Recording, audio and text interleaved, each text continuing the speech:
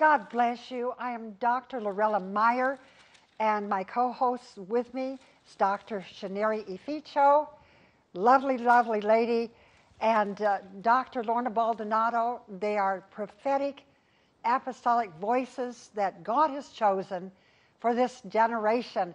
And we're so excited because the word of the Lord says, in the last days, and we are at the end of the last days. Because when Peter began to quote that scripture from the book of Joel, he thought it was then that the Lord was going to come back. But it was the beginning of eons of time, for God's timing is always perfect. You see, if it was at that time, you wouldn't have been born, you wouldn't have been thought of. But yet you are God's marvelous, marvelous creation. So in the last days, I will pour out my spirit upon all flesh. What does it mean? It means that God is going to quicken, make alive, that you would personally come to know this wonderful God who loves you and that he wanted to give you the gift of eternal life. How wonderful is that? And it means the resurrection of the church and God's supernatural power. With that, I'll turn to Amen. this wonderful co host, uh, Dr. Ificho. Praise the Lord. This is awesome once again. The hour of quickening. You know, the first time in the book of Acts of Apostles, chapter 2, after the baptism of the Holy Spirit, when they had an encounter with the, the power of resurrection, the Spirit of the living God. I say to you, this is the season, the hour of the Holy Spirit. These were men who were intimidated, men who were afraid, men who were in a dark world, men who had even, they were so afraid that they even denied the master, they ran for their lives. But when they had an encounter with the spirit of quickness, the spirit whose voice thunders, you know, the voice of the Lord thunders is so loud that it can sound all over the world. When the power of resurrection came and quickened them, they were able, they were enabled. And Peter stood and preached the gospel. He faced his fears. And the Bible says that 3,000 were added to the church in one day. Mm. What a time that we need the quickening of the Holy Spirit. But a time when we're faced with so much fear all over the world. Many are afraid of death. Many are afraid of everything. Some are even afraid of their shadows. But we come to say to you today that the Spirit of the living God is here to quicken your mortal bodies again. So your flesh will cease to connect with fear, for fear brings torment. Amen. And when you're mm. tormented, you cannot have faith. This is the hour of faith. The Bible yes. said that even women received their dead husbands back to life because they had faith, and not fear. So when you're faced with fear and when you're faced with death, know that the Holy Spirit, the Spirit of quickness, is with you. You know, this is an hour that the Holy Spirit is moving upon us to move and walk in the supernatural power of God. Right. Everything that Jesus did, he did through the power of the Holy Spirit. Mm-hmm. He came, he lowered himself, he operated as man, he was God man, but he operated as man through the Holy Spirit.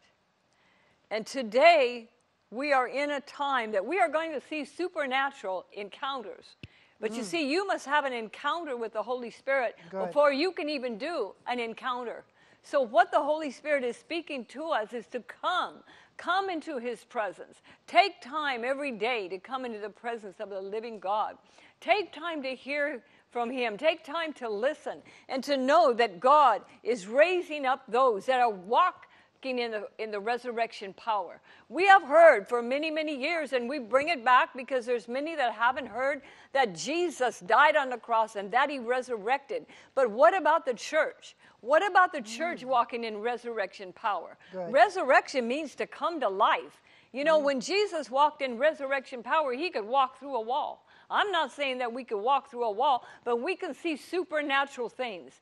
Mm. I'm telling you, God has done supernatural things. I have seen things that I've lost in my house appear. Yes. I prayed to God, I didn't know where they were, and all of a sudden it appeared. Mm-hmm. I have been going to the store and I thought I needed some money for a certain thing, I needed a certain amount.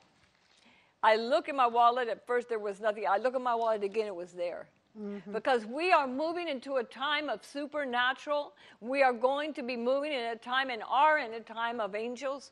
But Jesus said in John 6 63, He said, My word is spirit and life. In other words, the Word of God is written here, but once it comes inside of you, it's got to be established in you so that you understand it. But as it's established in you, the Holy Spirit will take your words. Now, I'm talking about people that walk with God. I'm talking about born again people that walk with God. I'm talking about that we have the power through the Holy Spirit to speak and declare things to be, and it will be so. God says He wants to manifest signs, wonders, healings, and those things in this hour. You know, they didn't pass away with healing evangelists, they, and the, the evangelists of that hour didn't call themselves healing evangelists, the people did. Because why? They operated in healing, they operated in signs and wonders. People went to church with cancers, they left. They didn't go out and have a surgery, they left. And we are just stepping into the water. into We're just right. stepping into the water of that. But believe me, there are some that are going to take quite a dip because there are more that are saying, you know what, I need to bring that water up, not just to my ankles, not just to my knees, but water to swim in. Lord, I want an encounter with you Yes. Because he, it's not a one time encounter of being baptized in the Holy Spirit, it's encounters. It's taking that time to come into His presence, hearing His voice, and watching Him manifest the things of God. We're in a supernatural time, and I believe that even in this time of darkness, we are going to see not only angels, we're going to see God's people rise up and begin to do exploits because it's been prophesied and prophesied that a people be risen up in this hour to do exploits and see signs and wonders to the glory of God. Because when you need something and it's not there, and you begin to pray to God, God can bring you anything. Ephesians 3:20, he'll do exceeding abundantly above all that you can even ask or think. I'm talking about things that you have need of. I'm talking about being able to to go somewhere and you need the power of the Holy Spirit there, He will come in that moment. We are in a time of supernatural presence of the living God. The Holy Spirit is come to manifest Jesus. We'll be talking more about this on other programs. This is the hour of the Holy Spirit and the hour of the supernatural body of Christ being raised up to be that glorious church. As we begin to talk about the supernatural, when you are born again, your spirit that was dead becomes alive unto Christ Jesus. And you begin to walk in the heavenlies. We are not saved by works or by religion. No, it's by grace, by grace, His mercy, His enduring power. By grace you are saved through faith. That not of yourselves. It is the gift of God, lest any man should boast. We can't save ourselves by giving to charity and feeding the poor and doing good works. No, because that motivation is, unless it's connected to the Spirit of God, it really doesn't amount to anything. So I want to tell you that when you are born again, that is supernatural power beginning of, of your new life because you are resurrected by the Spirit of God. And so to be sure that supernatural power is working in your life to give you a hope and an expected end that you can abide forever with the Lord. By whoever calls upon the name of the Lord shall be saved or delivered. And so pray with an open heart, with a, a heart of humility, and begin with all of your heart to pray this prayer Jesus, dear Jesus, come into my heart. Forgive me of every sin. I'm so sorry I've sinned against you. Wash me in your blood. Write my name in the book of life. And give me your wonderful Holy Spirit. Resurrect my spirit. I want to serve you. I want to live forever with you. And that is the beginning of resurrection power. And as our dear sisters was talking about the wonderful resurrection power of God, we see it right in the book of Acts. In Acts 3, there Peter and John, they had no money. How many of you have no money? But they had the Spirit of God, the supernatural power of God. And so they saw this, this man, lame man for years. He would be there at the temple begging. Now, notice they went at the hour of prayer. So it is a people that are connected to the Lord with prayer, believing prayer, not repetitious prayer, but prayer with faith, talking to God with faith, knowing that He's there. And so, so they thought, this man thought, well, here's two men. Maybe they'll give me a coin. And you know what Peter said? Silver and gold have I none. But such as I have, give I thee that resurrection power, supernatural power, such as I have, give I thee. In the name of Jesus. And you'll see how important that name is. And when you're water baptized, also after being born again, you are given that name, the Lord Jesus Christ. And in that name, no other name, can we be saved or delivered. So rise up and walk. And do you know what that man did?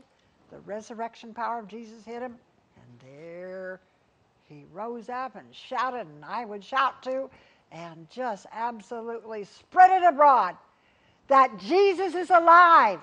He is alive.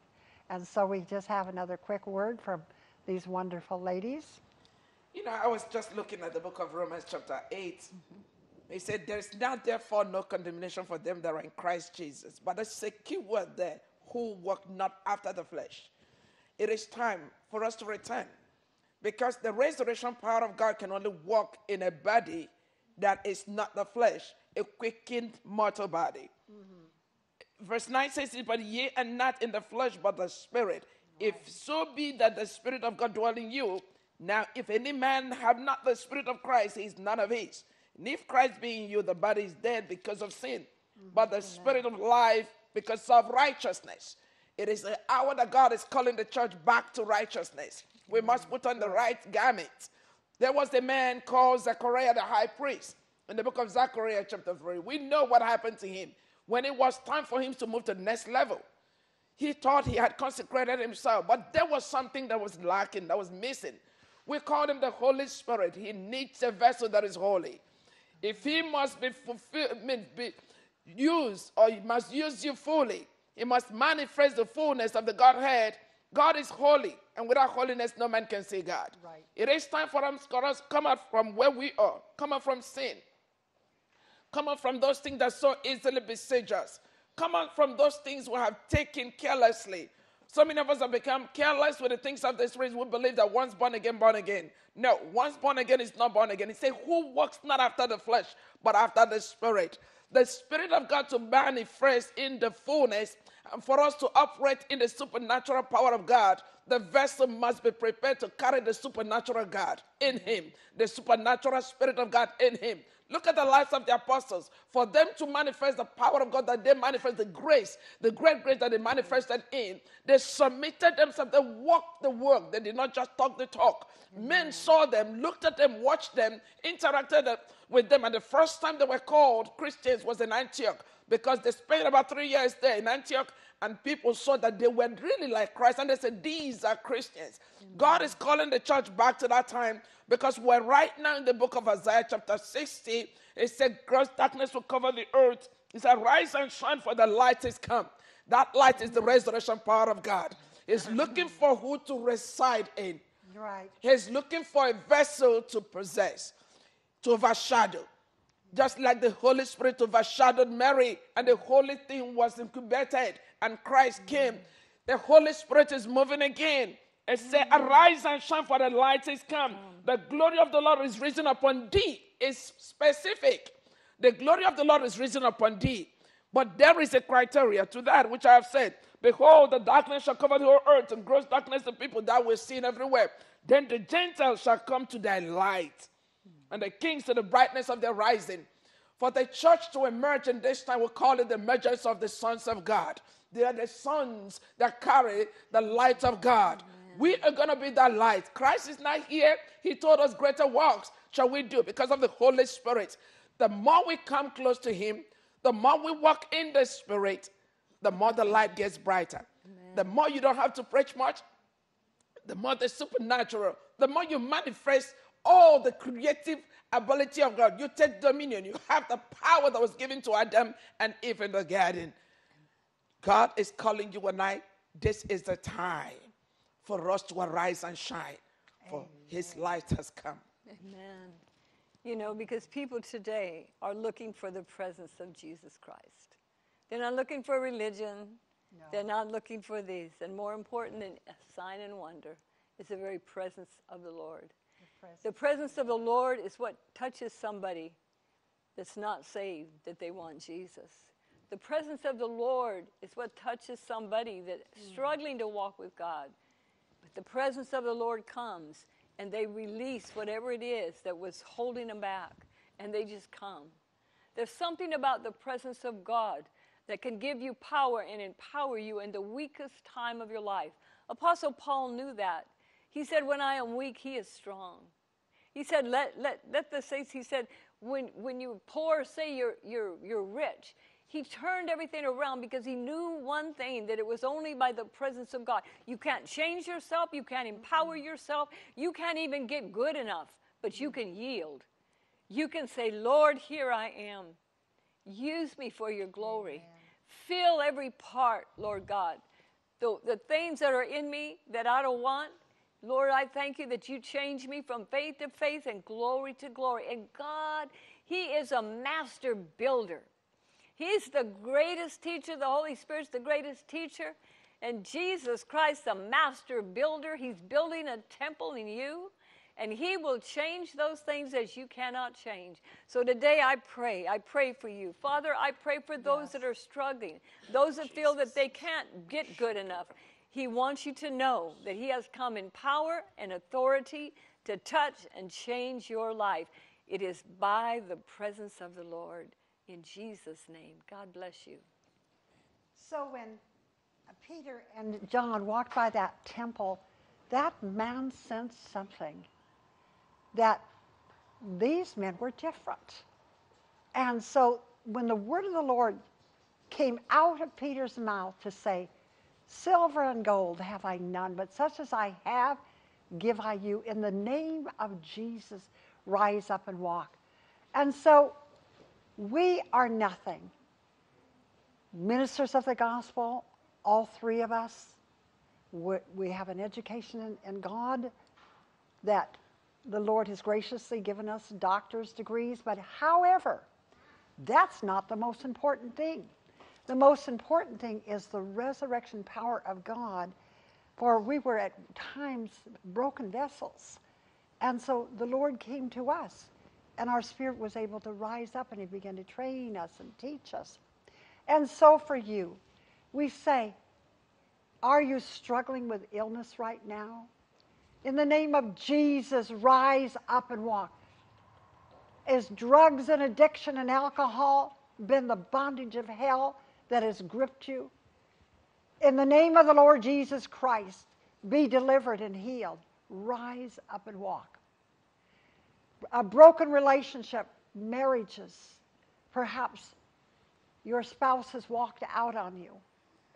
In the name of Jesus Christ, rise up and walk. He loves you so much that if you were the only person on the face of this earth, he would have come to die for you. That's how much he loves you. That you can have resurrection life. So I'm Dr. Lorella Meyer. This is the Word of His Kingdom. My wonderful co-host, Dr. Ificho and uh, Dr. Lorna Baldonado, Shaneri. Sometimes I don't always pronounce her name correctly, but we are so glad you have tuned in because it's our heart's desire to see that you move in His love and in His resurrection power, for in His love the fruits of the Spirit will begin to develop. To develop. You'll become like Jesus, and God can use you. And then the miraculous power, the gifts of the Holy Spirit. God loves you, and we love you. That's the way it's going to be. God loves you, and we love you, and that's for the world to see. We also want to thank Cross TV and the wonderful staff that operates this wonderful, wonderful TV station that the word can go on seven satellites. And to all the nations of the earth, we love you. And if you are interested in furthering your knowledge of the Lord, then indeed universityontheair.org, www.universityontheair.org, in Jesus' name. Amen.